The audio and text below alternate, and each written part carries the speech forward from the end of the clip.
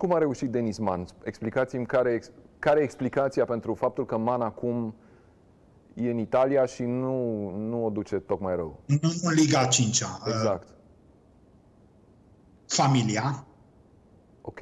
Pentru că antrenorul lui sau vorbim de Cristi Păcurar sau de Tisa Francis, a putut să aibă grijă de el până ce a fost prezent aici, Da. iar din momentul ce s-a mutat la București, a plecat taică cu el.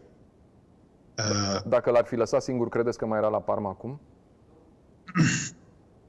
nu, nu știu să vă spun pentru că Dar ce, te, ce, Afară ce, de- inten- ce, ce, ce simțiți să răspundeți? Da sau nu? Dacă tatălui nu mergea cu el la București?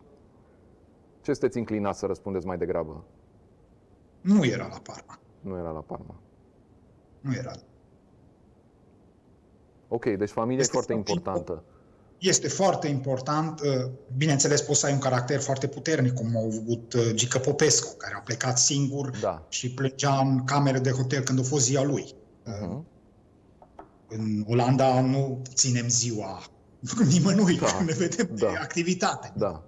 Și uh, sprijinul familiei a fost foarte important pentru el și era prezent acolo, care um, au avut probleme peste tot și la Parma au avut probleme de acomodare tenis. Da. Dar uh, fiind tata aproape, care te încurajează atunci imediat și îți mai dă un impuls și... Da, este foarte important. Deci el e un caracter puternic totuși, e un tip puternic. Da, da, da, da, da. da. Deci eu vă spun așa ce am auzit. Deci, uh, în primele antrenamente, Denis Mann era, era lovit, intenționat la antrenamentele lui Parma. Serios? Deci a fost, da, a fost moment când antrenorul a întrerupt antrenamentul din cauza asta. Așa. A primit coate în cură. Uh,